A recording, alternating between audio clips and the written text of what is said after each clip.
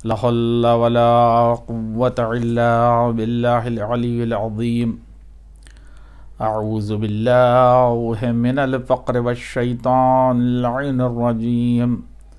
بسم الله الرحمن الرحيم. قال رب الكريم في محكم كتاب مبين.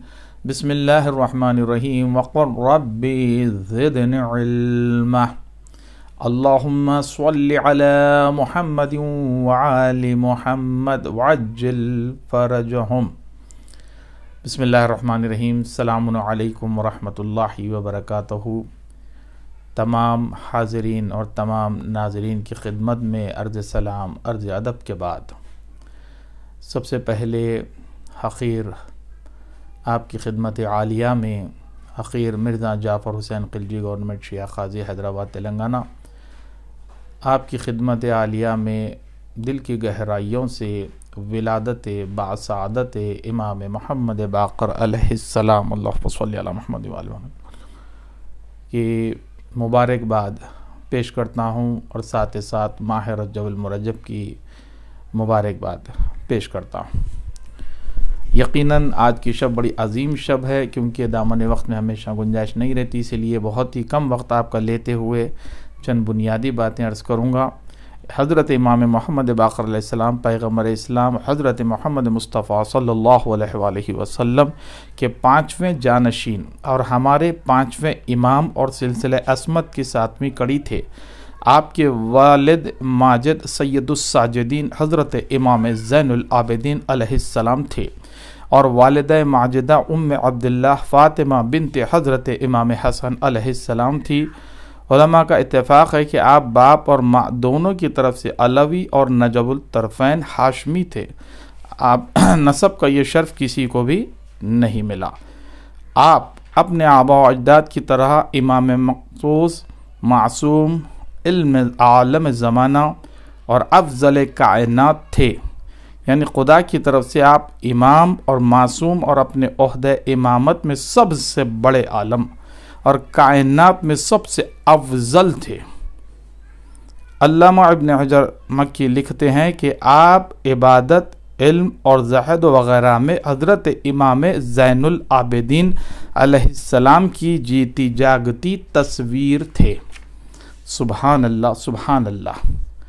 حضرت امام محمد باقر علیہ السلام کی تاریخ ولادت یکم رجب المرجب ستاون یعنی ففٹی سیون ہجری یوم جمعہ مدینہ منورہ میں آپ پیدا ہوئے ہیں اور آپ کے اسم گرامی کنیت اور القاب آپ کا اسم گرامی لوح محفوظ کے مطابق اور سرور کائنات کے تعین کے موافق محمد تھا۔ آپ کی کنیت ابو جعفر تھی اور آپ کے القاب کثیر تھے جن میں باقر، شاکر ہادی زیادہ مشہور ہیں۔ اللہم صلی علی محمد وعلی محمد وعجل فرجہم. یقیناً ماہ رجب المرجب کا مہینہ بڑا عظیم مہینہ ہے اور کافی فضائل وارد ہوئے ہیں۔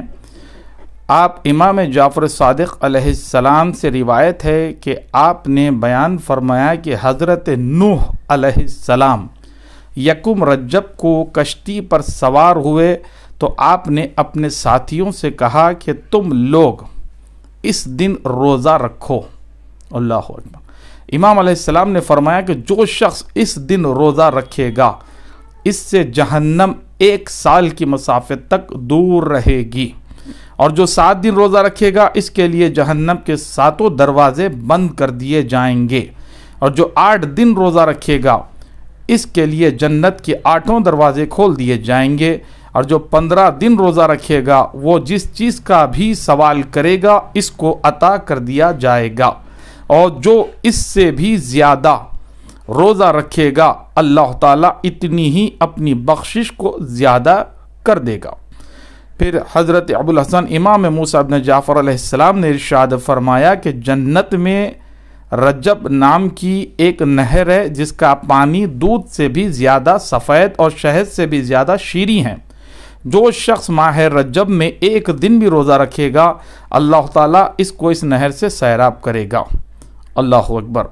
پھر حضرت امام ابو الحسن ابن جعفر علیہ السلام نے ارشاد فرمایا کہ رجب ایک باعظمت مہینہ ہے۔